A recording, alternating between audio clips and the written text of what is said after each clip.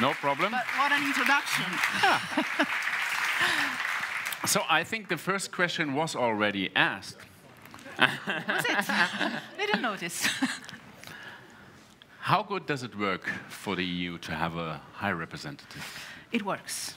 I wouldn't change Uh, one. It, it sounded slightly different. Just Ask any of the two if they become my successor in a few months. Uh, uh, no, it works. It works. Jokes apart. Um, I wouldn't change one single comma of the Lisbon Treaty when it comes to my job. I give you one example. Uh, I think one of the best uh, results we have achieved in this uh, last three, four years is the work on the European Union defense.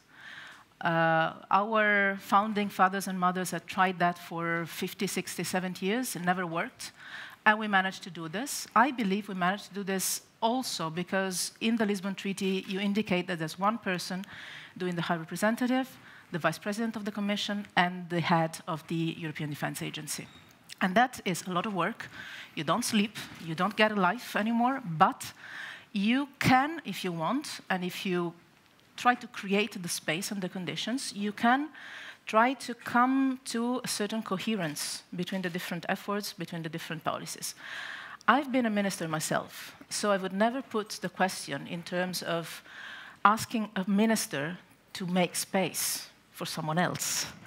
But what you can do as a high representative is to use the added value that the European Union brings to any national foreign minister, because no foreign minister in this world of today of one single country has the leverage that it has, he or she has, through the 28. But so use the power. It, it's, it's not asking to step back and create space, it's asking actually to make one step forward and act European. Then it makes sense for everybody, and actually it's convenient for everybody. But do you feel sidelined every now and then by the other foreign affairs ministers? No. No. Uh, what, uh, what worries me is what Mira was saying at last that now uh, there is a tendency to see as a point of pride uh, if you stop a decision. While before uh, there were decisions that were stopped, uh, but there was a sense of um, responsibility. Of belonging together. Um, it is true that the wind has changed, not only on foreign policy, actually, on foreign policy, much less than in other issues. Look at immigration, internal policies, they suffer much more of this trend than the foreign policy or the defense policy. On the defense issues, we voted at unanimity at 28 with the UK in the last three years. Doesn't make the headlines. Uh, but what worries me is this, uh, is that uh, the, the winds now, not only in Europe, go in another direction. Uh, I played alone.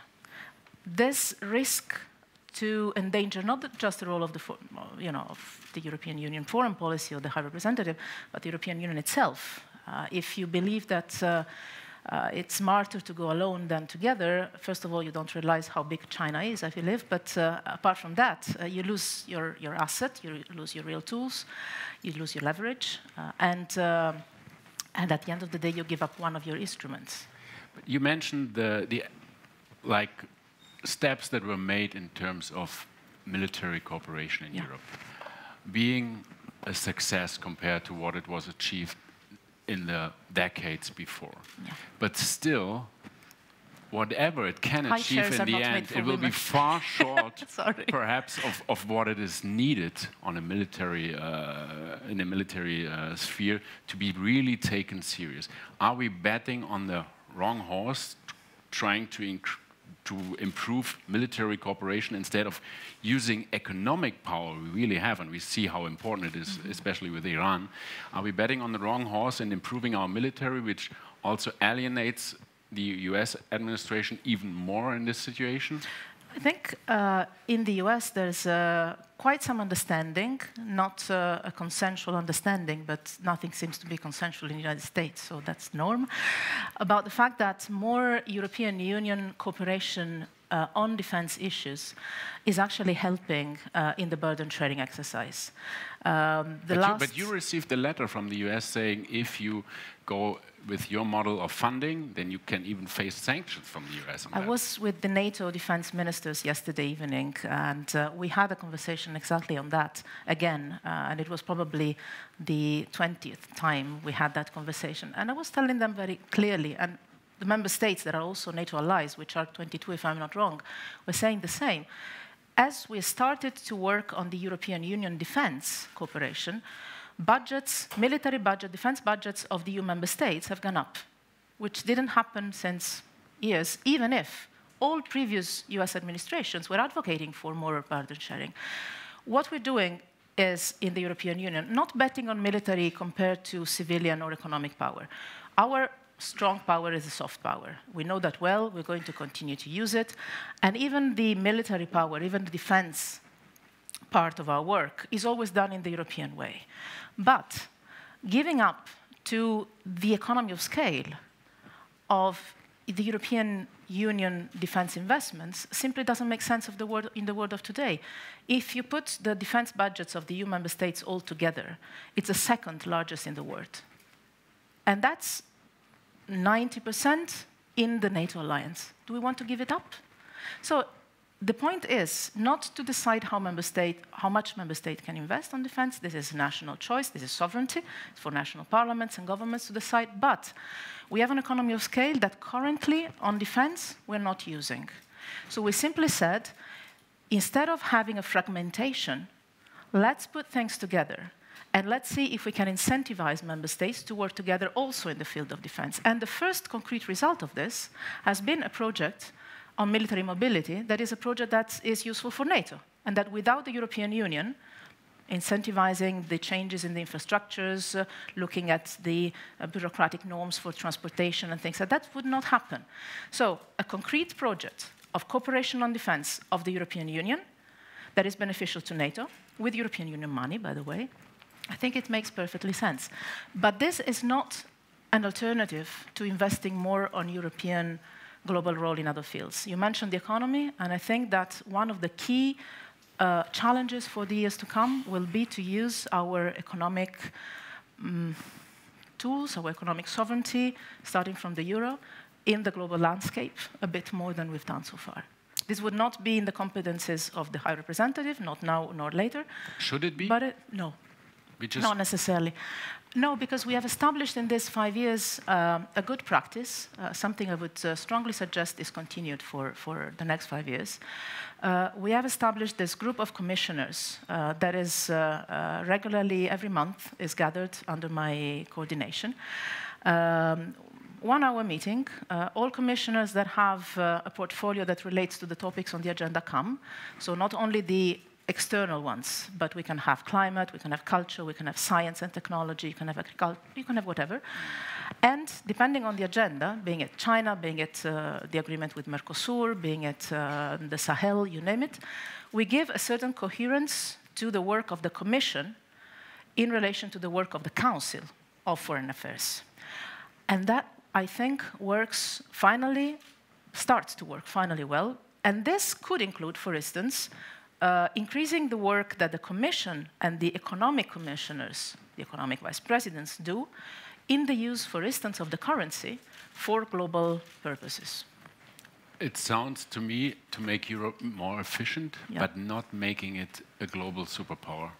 So even if we go to the end of all those developments, I, do, you, do you think it, it will really change the, the position of, of the EU? Yeah, I think it would. I think it has changed already. When I started, I remember very well that the question I was asked the most was how to make Europe relevant. How do you bring the European Union in, at the table as a relevant player? Uh, and again, the Polish minister made, uh, Jacek made a, relevant point. Uh, when I started, I was uh, quite frustrated coming in and finding a, a, format that didn't include the European Union at the table. At the end of the day, I have to say it worked quite well in terms of coordination, because uh, the two member states that are sitting at that table uh, have always shared information and we've always coordinated even during the meetings of the Normandy format. and it can even help us playing different roles uh, inside and outside. But apart from that, the point at that time, 2014, 2015, was how to make the European Union relevant as a player. Today, you go from Japan to, to Chile, uh, to New Zealand, uh, to the Arctic, or to Canada, you don't, you're not asked if the European Union is relevant. You're asked whether the European Union is focused enough on its global responsibilities and it's not starting to be inward looking. So the global player role is recognized by our partners. I'm not 100% sure it's recognized by Europeans. And I think this might be part of the problem. But let's have a look into that on a very concrete situation. We are having a situation where I think from a European perspective, the Americans are playing with war in Iran. So we saw what happened after the invasion of Iraq, with up until the refugee crisis, with all the consequent uh, developments. We are having NATO uh, training mission in Iraq. We have NATO force in Afghanistan. So we also have a European Union uh, mission in Iraq. You we, knew it? We, we, have we have Turkey as a, with a share, sharing a border with Iran, mm -hmm. and still no real coordination, no common approach to Iran. Can, you talk, can we talk about the transatlantic alliance there? If something that's so fundamental for Europe. We have, uh, well, it's so fundamental for the rest of the world as well. Uh, I think there's no, uh, almost no single country or no single uh, continent in the world for which it is not uh, relevant what happens around Iran, uh, also because of the geography. Iran is always considered as a Middle Eastern player, but it's a player in Afghanistan, potentially a player in Afghanistan, Central Asia, Asia, the oceans. But we have no say in that we have no say. Oh, ask Washington. we only talk about that almost. No, that's not true. Uh, we talk about everything. But uh, uh, the European Union, first of all, has a policy on Iran and has kept, has built and has kept a policy on Iran in unity, in full unity, till now. And I I, I'm convinced it will continue. And we have some level of disagreements on some issues with Washington, uh, the approach to the nuclear deal, uh, has become an issue of disagreement with Washington after Washington decided, after this US administration decided to uh, stop uh, um, uh, implementing the, uh, the agreement. Um, that I want to remind us all is a UN Security Council resolution. It's not an agreement, actually. Um, but we have kept our line together with the rest of the international community, apart from a couple of countries. We have done probably the most difficult and also the most decisive uh, steps to try and keep the deal alive. And as of today, more than one year after the US left the implementation of the agreement, Iran today is still compliant with the agreement. You asked me one year ago if I believed it was possible. I would have told you, well, publicly I would have told you for sure, but I think it's quite a miracle that, uh, that this has happened. And this has happened because of the European Union, not only of the European Union, this has happened also because I believe uh, the rest of the international community has uh, helped us all to keep uh, in place a multilateral agreement that has proven to be uh, successful so far. It's not perfect, nothing in life is perfect, and doesn't cover essential elements that we would like to cover, but it was never meant to cover non-nuclear issues. So, on the policy on Iran, there are issues on which, with the United States, we are um, we are discussing on everything. On some issues, we disagree. For instance, we believe that keeping the JCPOA in place is the basis for building on further discussions and further possible agreements. What worries us the most is the perspective of an escalation. I think that everybody in Europe, but also everybody in the region, and for sure in our neighboring continents, those that are close enough to be worried for a, the perspective of military escalation, uh, are telling our American friends the same, and obviously are telling Tehran first and foremost the same. A military escalation, a military option in that area would be a disaster not only for the region but for the world. Do you think and I'm sure that in Washington, many think the same. Do you think we're going to get back to the good old times with a better transatlantic relationship? Or do you think, as German Chancellor Angela Merkel said the times where we could really rely on each other are more or less over? For me, this is a difficult question because I don't know if this comes in the job description of the German Marshall Fund Fellow, but I'm so much and deeply. I, I always experience a lively debate. So. No, I, I'm so much in love with the country. And for sure, a lot of that depends on that month I spent in strange places in the United States. uh, that gave me an insight of what America is. I'm so much in love with the country that I cannot imagine of good times and bad times because there are and there can be political disagreements. But we have political disagreements inside the European Union as well. You might have political disagreements inside a coalition government in one country oh. or inside one party. uh, that's democracy, that's life, that's okay. And, and we have had difficult moments in the past. You mentioned the Iraq War those were difficult times for the transatlantic relations. And that was a split inside the European Union as well. So I wouldn't define the good old times and the challenging or difficult times now and what comes next. I think we entered into, hopefully, what can be defined a mature friendship, partnership, uh, where we can, uh, we can accept that we have political disagreements, on some issues, and that this doesn't put into question the fact that we're friends, partners, that we're on the same side of history and of the world. And if you look at the list of things on which we work closely together, the number of issues on which cooperation continues to be perfectly working and vital are many more than the ones that are not working. We have two or three issues where we clearly disagree. The Iran nuclear deal, the status of Jerusalem, uh, multilateralism and climate change, and trade. Five. so what? And, and, and, and Huawei is still to come. Huawei is not and for me. trade is Huawei, also still to Huawei come. Huawei is, is for member states, at least some. at least some.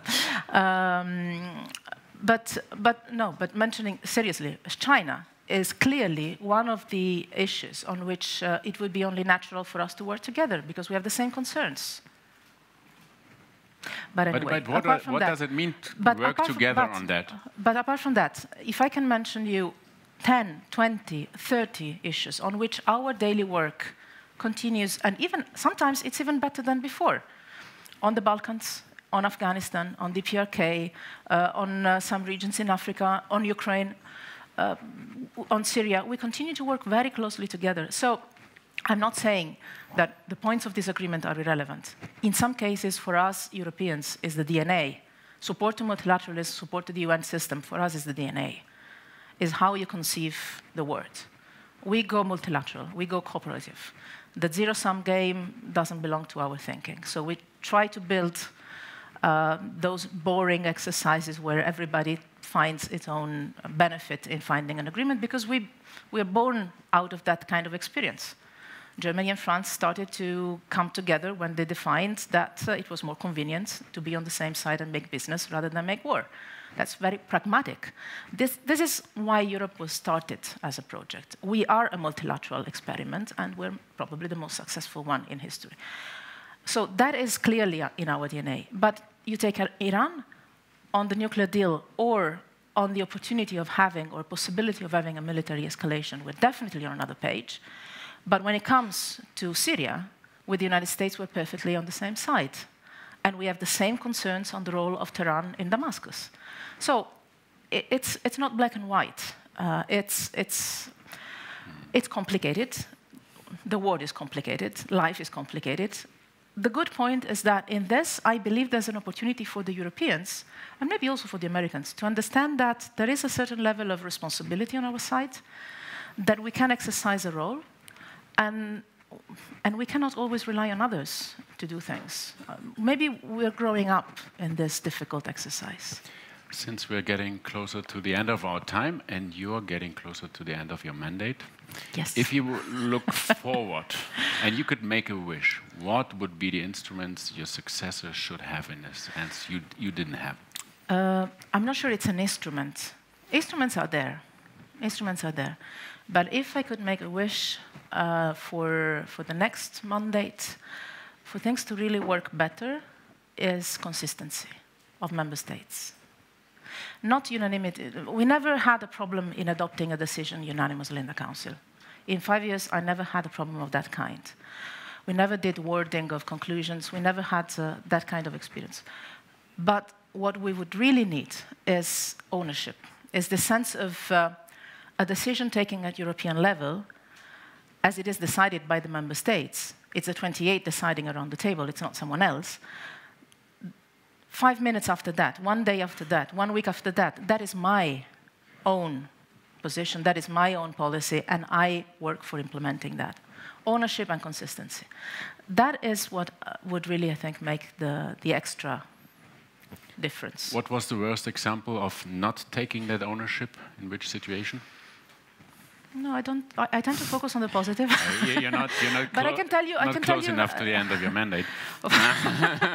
it's true that this, this last four months uh, are quite intense, um, and I'm, I'm, not yet in the mood of, uh, of uh, you know, the legacy, the, the, the, the, lessons learned, because there's so much still ongoing that uh, you know you, you, try to keep track and, uh, and keep working on every single file till the every single day. Uh, differently from the other commissioners, for me, you know, the work doesn't stop. So for me, until midnight of the 1st of November, uh, you're not uh, half in the job, you're in the job. So you, you just, uh, uh the 1st of November, I'll, I'll, reflect on the negative examples, but I have a couple of positive examples. Defense is one of those. I'm, I'm sure about that. No, no, no, but one, one, one, that, one that I want to say because it's normally very controversial, and that's the external part of our work on migration. On migration, our member states have been as divided as they could be. But, and they still are probably, but on the external work we have done with Africa in particular, but also with uh, Afghanistan, with Pakistan, with Iran, by the way. Iran hosts 3 million Afghans, by the way. But the work we've done with Africa in particular makes me proud, because that is something that was not existing when I arrived. I remember very well, as an Italian, it was a shock to see there was no external migration policy, it was only about borders. And we've started with the full ownership of member states to develop partnerships with our African Union partners, with the countries of origin, of transit, and still a long way to go. But now there is something in place that starts to work. Partnership, European Union, African Union, UN, we've done something good there. Thank you very much, Thank Federica you. Mogherini. Thank you. Thanks for this great debate. Thank you. And, uh, sorry. all the best for the remaining months. Thank you. And for, and for getting back my life afterwards, I guess. thank you so much. And thank, thank you, you, everybody here in the room. Thank you. Enjoy the coffee break and uh, see you at the next session. Thank you very thank much. Thank you. Bye. Thank you. Thank you.